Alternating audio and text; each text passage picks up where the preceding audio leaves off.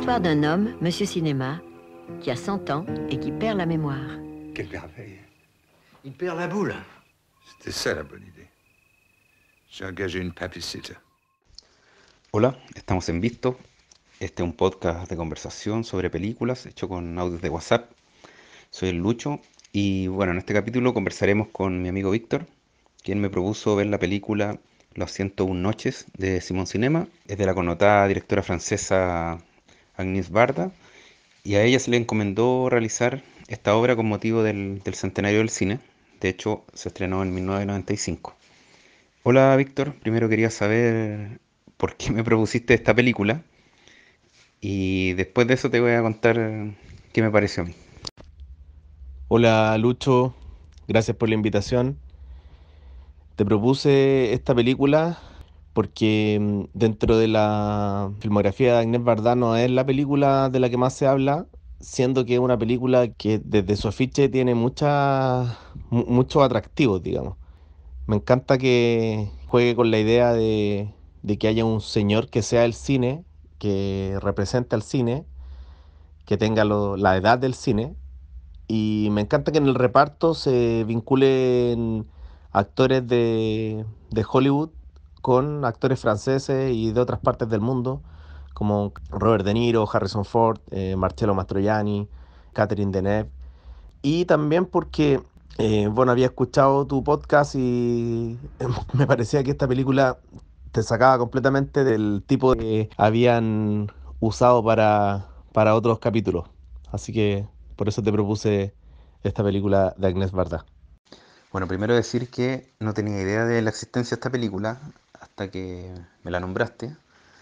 Y bueno, vi el afiche que era ya llamativo y después vi el tráiler. Y bueno, en el tráiler en realidad no se entendía nada de qué se trataba, pero lo primero que llama la atención es el reparto, o por lo menos la gente que va a aparecer en la película, que también es cuando parte la película y, y aparecen los créditos iniciales, y que es realmente impresionante. Entonces, claro, ahí la verdad que ya me enganchó por último por, por la curiosidad.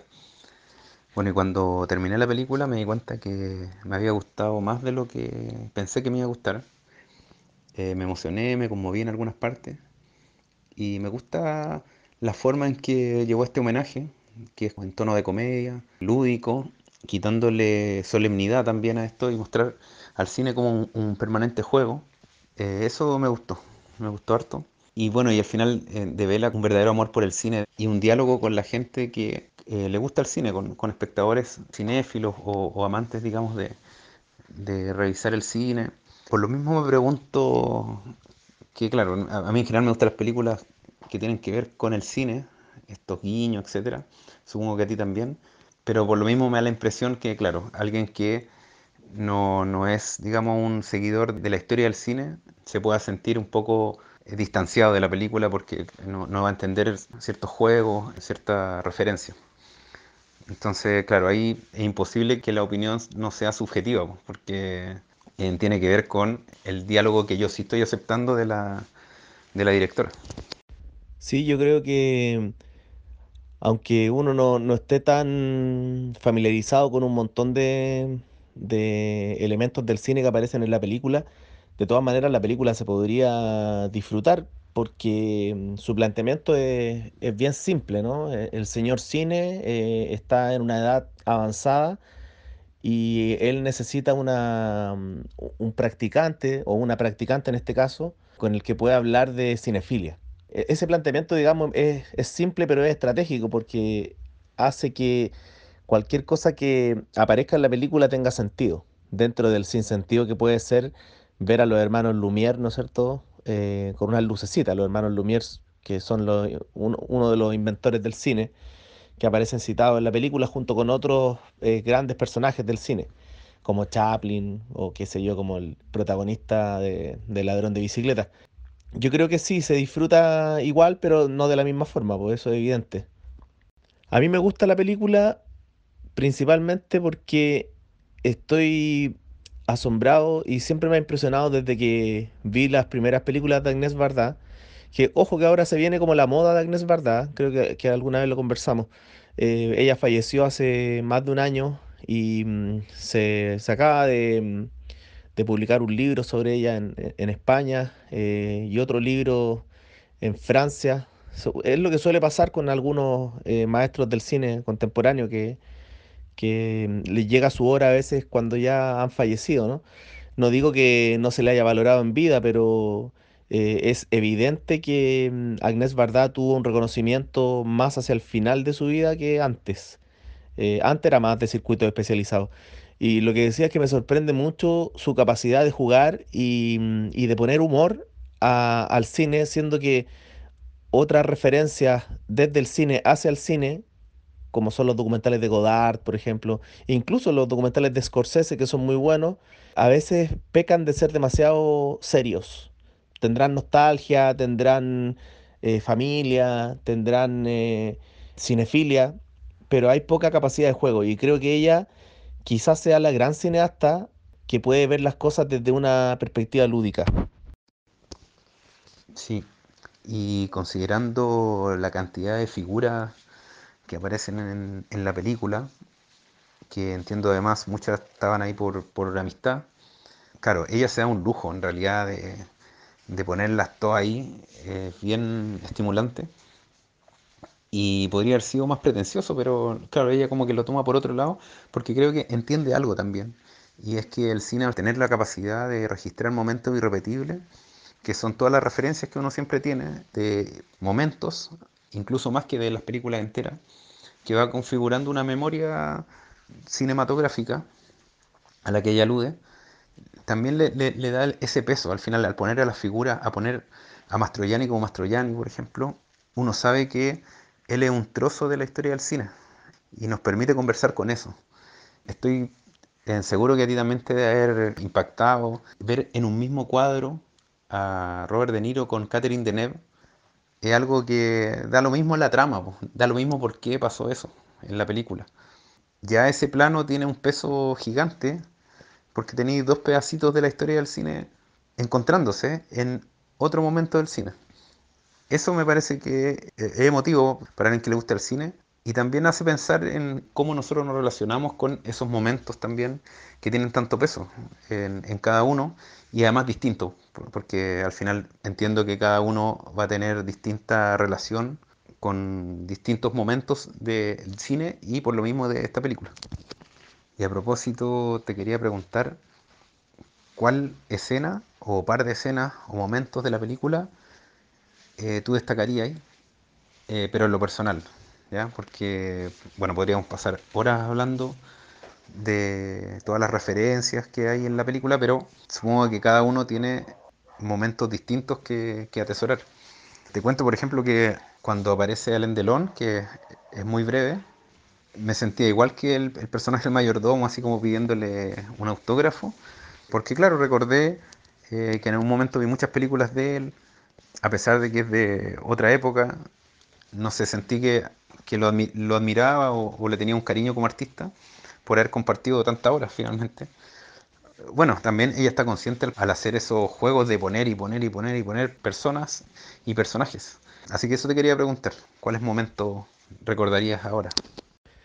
Sabes que coincidimos en eso porque la aparición de Alain Delon creo que representa toda esa cinefilia idílica y genuina de poder encontrarte personalmente con una figura, con una estrella del cine, ¿cachai? Porque aparte que él juega mucho a ese, mm, a ese rol, el rol de, de- de la estrella cinematográfica. Me gusta también mucho cuando aparece Marcello Mastroianni, porque me encanta Mastroianni, creo que es uno de los grandes actores de la historia, y que se burle de, de ese mito que, mm, que él mismo contribuyó en, en su época de gloria, en los años 50, 60, lo del Latin Lover, y poder verlo en plan de comedia, Mastroianni, que siempre tuvo tantas herramientas para acercarse a la, a la comedia en las películas de Fellini, incluso en la, en la película del compatriota Raúl Ruiz, Tres vidas y una sola muerte. Así que me encantó verlo eh, en ese plan. También me gustó mucho la referencia a Buñuel que hay en la película, al perro andaluz, a la edad de oro, Me gustó también eh, la aparición de eh, Jean-Paul Belmondo. Quizás se me hizo excesivo el personaje de Michel Piccoli como personificación del cine, pero entiendo que lo hace porque Agnès Varda es muy astuta en eso, en que pone los roles según lo que fue sus personajes más emblemáticos en la historia del cine, ¿cachai? Ahora que me acuerdo, cuando aparece Landelón es también la referencia que hay al ladrón de bicicleta en esos cruces que empieza a hacer. Y por supuesto la escena de Catherine Deneuve con Robert De Niro, que curiosamente no está tan explicada, sino que más bien es como una pareja burguesa que llega a esta gran casona donde vive el señor Cine. Que porque sí están ahí, ¿cachai? No se sabe de dónde vienen. Y ahora que me acuerdo, en el documental que se estrenó mm, el año pasado, el, la última película que hizo Agnès Varda, que se llama eh, por Agnès, habla de cómo fue la llegada de Robert De Niro cuando filmaron esa escena, que había llegado en helicóptero, casi fue por el día y que ella se había dado un lujo en la historia del cine, que era que lo había tirado al, agua. ¿Te acordáis de esa escena? Sí, aunque eh, creo que lo que uno ve cuando el que se cae al agua no es De Niro, sino que es un extra. Y, y también me gustó cuando aparece Jean-Paul Belmondo, que no es un actor que sigo, pero eh, era interesante su aparición, le preguntaban por qué había dejado el cine. Y me acordé ahora también que aparece en una parte como la ex esposa del protagonista, que es Jan Moró y, es Chiguya, no, sé cómo se, cómo se pronuncia, que es una actriz que, que trabajó harto con Fassbinder. También quería mencionar a Julie Gallet, que es la actriz que interpreta a Camille, que es uno de los personajes importantes en la trama, que es cinéfila también y que le ayuda a recordar cierto hito al, protagonista que es eh, Simón Cinema. Eh, bueno, ella es muy carismática, yo no la conocía, eh, encuentro que muy bien en ese rol que y porque además todos somos un poco ella, creo, porque somos los que no estamos dentro del mundo del Star System, digamos, y que ve con admiración además a todos estos personajes que van apareciendo. Bueno, y a partir de ella quería conversar esta otra historia pequeña que aparece en paralelo y que tiene que ver con gente joven haciendo películas, son al parecer estudiantes de cine, donde ella también está involucrada, Camille, y que muestra de alguna forma el trabajo eh, del cine tras la cámara. Eh, de hecho, en un momento cuando están grabando suena la música de la noche americana de Truffaut. Entonces, claro, pareciera que Barda también quería mostrar el proceso de, de trabajo que hay detrás, menos glamoroso. Y sobre todo el tema como generacional también de qué está pasando ahora con el cine, bueno, o en, ese momento que eran los noventas, antes además de la aparición del digital pareciera ser. Y eso quería que abriéramos también una conversación en, eso que propone como diálogo intergeneracional también eh, Barda. Sí, esa subtrama de el novio de la chica que está trabajando para el señor Cinema a mí me dio la impresión de que podía ser casi la misma Agnes Varda personificada en, esta actriz más joven que está haciendo su práctica, como dice, ¿no? Conversando, relatando hitos de la cinefilia al, señor cine. Y claro, esa subtrama, bueno, obviamente queda corta al lado de, las grandes figuras que están yendo al, palacio de, de Simón Cinema, ¿no es cierto? Pero mm, nuevamente ella elige utilizar herramientas lúdicas para poder llevar a cabo esa parte, ¿no es cierto? Con esta cámara de cartón, con utensilios que están dibujados, ¿cachai? Que están impresos en, cartulinas, qué sé yo. Y también eh, filosóficamente es bien astuto eso de que el cineasta le tenga celos al cine, ¿no? Al señor cine, que es el cine en el fondo, porque la chica está más interesada en el cine que en él, ¿no es cierto? No queda muy claro por qué, quizás por eh, la cercanía que tiene con la estrella o por, el amor que siente por el cine.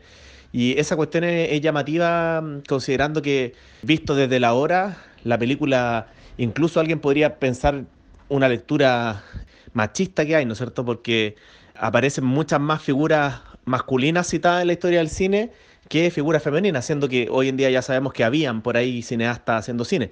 Y claro, pero está por otro lado la ironía de que sea la propia Agnès Varda quien relate esa retrospectiva sobre el cine, ¿no es cierto? Y hago la referencia a, este tema porque ella siempre ha defendido su opción creativa frente eh, a la lucha de género. De hecho, aquí hay una frase que siempre la recuerdo de ella, aquí la tengo, justamente la busqué. Dice, en los tiempos de la llamada Nobel Back había otras mujeres rodando.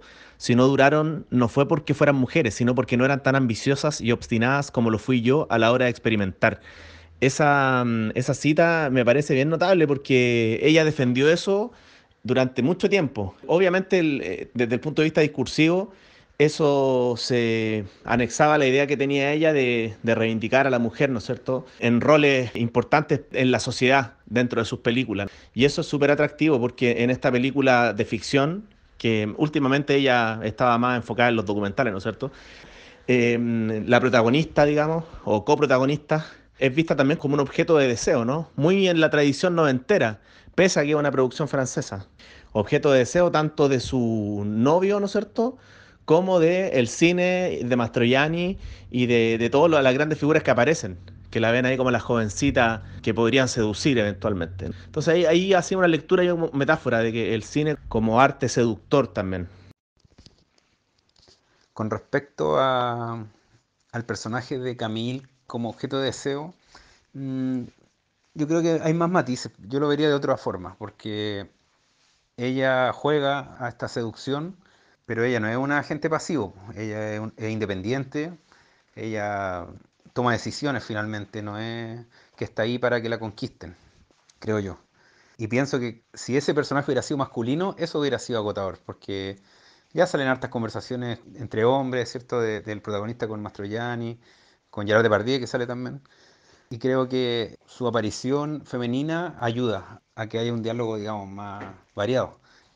La pregunta que sería interesante, sí, es por qué el señor cine, digamos, es eh, masculino y no femenino. Eso es interesante, aunque hablando a este nivel de industria, podríamos decir que sí es masculino, lo han creado los hombres, toda este, esta idea también de, eh, eh, por un lado, de competencia y de máquina de dinero también, en ese sentido podría decir que es masculino. pero bueno, una pregunta que, hubiera sido bacán habérsela hecho a, la directora. Y con respecto a que Camille podría ser una especie de encarnación de la directora, em, yo creo que no, pero es porque ella sabe que pertenece a los famosos de alguna forma, en los creadores ya consagrados. Y creo que el personaje de Camille muestra a este ojo inocente frente a este, a este mundo de figuras y es interesante lo que decís eh, de este como celos que existe entre, entre el novio, que es el director de esta película de jóvenes, que a todo esto ese actor el hijo de Agnes Varda, pues, el, el, hijo que tiene con Jacques Demy. Y bueno, y este duelo yo creo que propone también una mirada que tiene la juventud frente al cine tal vez como espectador, que al final darle mucho glamour, pero claro, el momento de meter las manos se transforma en otra cosa, el cine que es algo, una, artesanía, con muchos problemas, y que también hace pensar que al final todas estas estrellas que vemos igual tuvieron que mamarse un montón de situaciones poco glamorosas, como cuando cuenta Gerard Depardieu que tenía miedo que le cortaran la cabeza en Danton, creo. Claro, es seductor el mundo del cine cuando uno es espectador, pero es muy distinto en el momento de, de crear. Y yo creo que por eso ella pone esta historia también de jóvenes entre ingenuidad, entusiasmo y con algo de cinefilia también, porque lo que buscan a veces es esta especie de Olimpo, más que es la creación misma, no sé, bueno, yo creo que eso eh, lo puede interpretar cada uno, pero, pero por algo está ahí. Bueno, no sé si encarnación era, era la palabra que definía mejor lo que pasa con el personaje de Camille y Agnès Varda podría ser el alter ego, o podría ser simplemente un personaje en el que ella puso muchas referencias de cómo Agnès Varda entiende el cine. Porque si bien está puesta ahí como mm, eh, de una forma ambigua en su relación con los hombres, también es una mujer, como dices tú, activa, eh, independiente y que escapa un poco a esa seducción, ¿no es cierto? Entonces, eso me parecía mm, llamativo a mí de la película, que mm, ante esos intentos que hay de flirteo, de coquetería, ella escapa a eso, porque para ello lo más importante parece ser el cine, ¿no? La cinefilia. Y en ese sentido, el personaje tiene mucho de Agnès Varda, porque Agnès Varda como realizadora es una realizadora muy cinéfila. En todas sus películas está presente la cinefilia, sobre todo en, las últimas, que son las más conocidas, eh, Visage Village, Bardá por Agnès, totalmente, si se trata justamente de sus películas. Me dejaste pensando en eso de por qué el cine es hombre en la película. Claro, tenéis razón. Eh, se constituyó como, como arte desde sus orígenes eh, a partir de, de, hombres, ¿no es cierto? Eh, ahí tendría cierta lógica. Pero yo creo que también tiene que ver lo que representa Michel Piccoli. Esa película que mm, mencionan de Piccoli, yo no la he visto en todo caso, ¿ah? pero hay una referencia ahí de lo que para él significa la idea del, del arte, ¿no? Y del cine mismo. Es una película de Godard la que citan y constantemente las películas de Godard suelen reflexionar sobre el cine mismo, entonces quizás por eso lo puso ahí como personaje para ese rol. Yo te quería preguntar algo que hemos hablado en la vida, pero a propósito de la película, porque es algo que apareció como duda y como reflexión después de ver la película. La película pareciera ser una propuesta cinematográfica que se mueve entre Hollywood y Francia, ¿no? Más allá de alguna referencia al neorrealismo italiano. Pero nuevamente vemos que en un proyecto que reflexiona sobre el cine, América Latina es prácticamente inexistente. Y eso como que entre que me duele y me da un poco de rabia. Porque se nombra Buñuel, eso es bien, es bien loco, porque se nombra Buñuel como el del perro andaluz, pero no se habla nada del Buñuel mexicano, que es un Buñuel súper importante para la historia del cine. ¿cachai? Entonces, como que ya no me quedan tantas dudas de que mm, eh, en otros países la el camino de Buñuel por el cine latinoamericano es absolutamente como no tan interesante para ellos, pese a que nosotros, los que sí somos latinoamericanos, sabemos que es referencial para el cine de nosotros. Entonces eso me llevaba a pensar que una película como esta lamentablemente sigue teniendo esa deuda hacia, hacia los latinoamericanos, ¿no es cierto? Así que te la dejo ahí también como pregunta, porque mm, creo que lo hemos conversado otras veces, pero sería bueno también volver a retomarlo ahora. Y lo último relacionado con eso valorar esto que está pasando en los últimos años a nivel de la industria del cine, en que los mexicanos se han ganado todos los premios y han marcado tendencia con sus películas, porque eso quiere decir que en las nuevas historias del cine que se hagan, o cuando el cine cumpla 200 años, ¿no? Quizás sí va a ser referente a raíz de estos mexicanos internacionales que han habido en el último tiempo. Sí, a mí también me llamó la atención que apareciera como esta parte inicial de Buñuel, pero bueno, también creo que es de regodión, si tampoco podéis meter todo. Pero también me hace pensar que, bueno, por muy Agnès Verdad que sea y cinéfila y, y que de alguna manera te interese algo un poco más marginal, los franceses son ombliguistas también. La producción es francesa, inglesa. Y además como la lógica de, de, hacer esta película en torno a la historia oficial del cine también. Y además con su amistad, entonces está el cine francés, el cine italiano, el cine alemán y Hollywood. Eso digamos el fuerte que son las referencias también que salen en la película. Eh, es una cuestión primer mundista también, que como que a nosotros nos cuesta entender, pero es así. Y sí te iba a mencionar que en una parte hablan del cine japonés, que no sé si cachaste, pero cuando en un momento llegan los turistas a esta casona como museo de, de cosas de cine, están relatando así como parte de la historia y hablan del cine japonés y dicen, bueno, el cine occidental recién le tomó interés eh, con Rachomón, pero hay mucho más y creo que de pasada nombran así como a Misoguchi, que es muy de pasada, pero eh, lo, consideran igual. Pero bueno, él, eh, tuvieron que incorporar al final parte del cine oriental en la historia del cine porque se volvió relevante. Y además la parte más occidental también, que era Kurosawa. Y toda la influencia que él tuvo. Pero puta, el cine latinoamericano no existe. y para qué hablar de, del cine africano o, u otra parte del cine oriental e incluso mismos lugares de Europa que no se toman en cuenta, o sea, España yo creo que no lo pescan, zonas balcánicas, qué sé yo, entonces siempre va a haber una cuestión así, primer mundista total. Yo creo que hasta las escuelas de cine de acá deben pasar la historia oficial occidental, que claro, uno sabe que está incompleta, pero eso así, y, y que tiene que ver con la industria también, obviamente. La historia del cine se escribe igual que en la guerra, por los triunfadores. Y eso tiene que ver con los premios y por el dinero que se ha generado.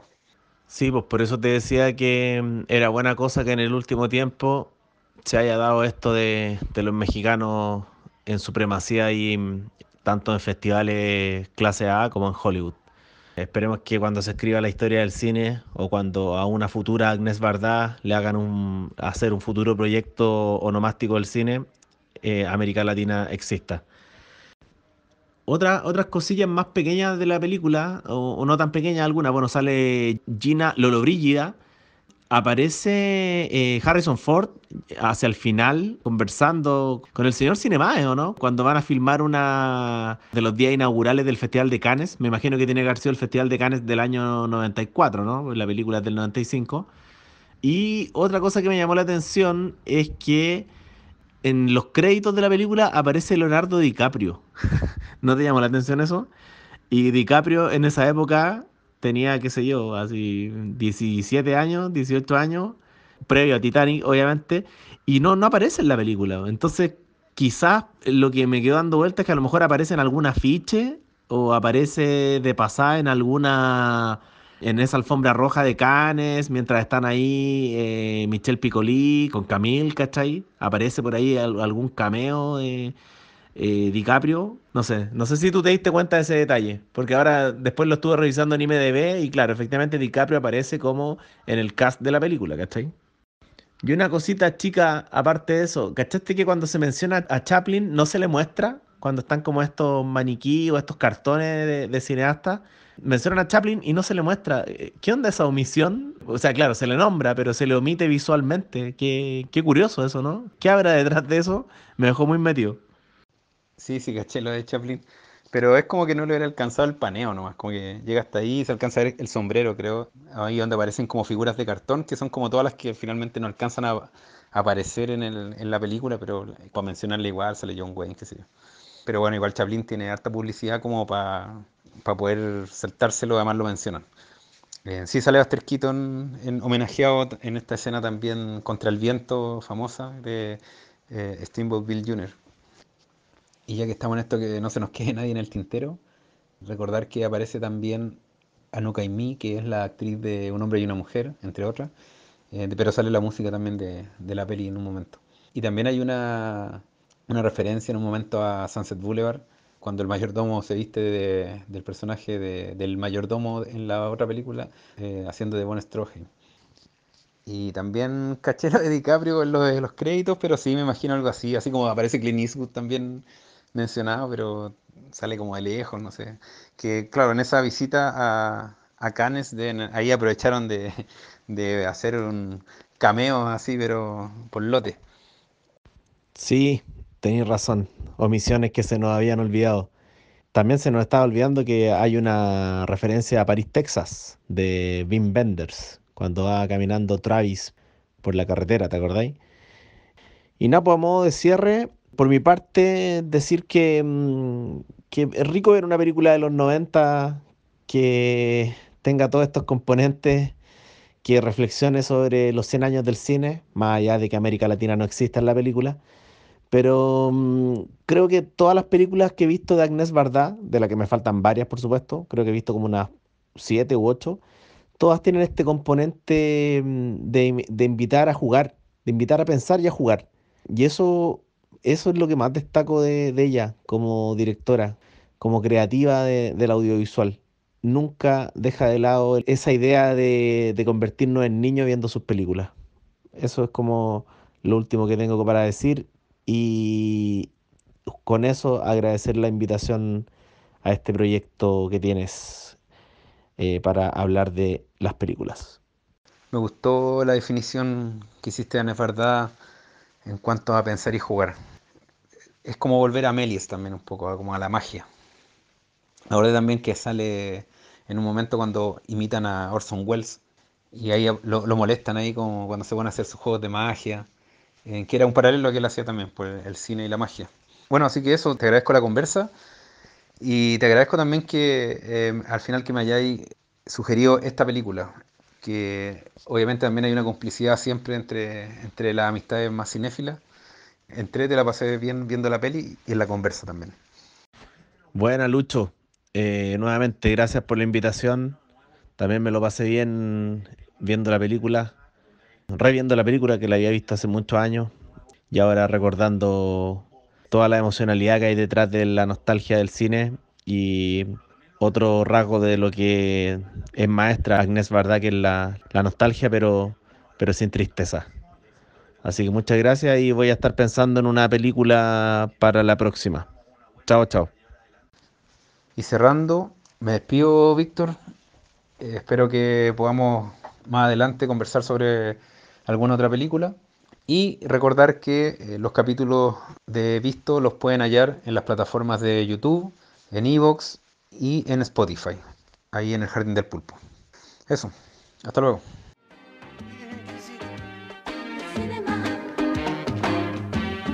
Monsieur Cinéma était souffrant. Je suis venu lui présenter mes hommages. Je pète la santé. Bah, fais attention, pète pas trop fort. Hein.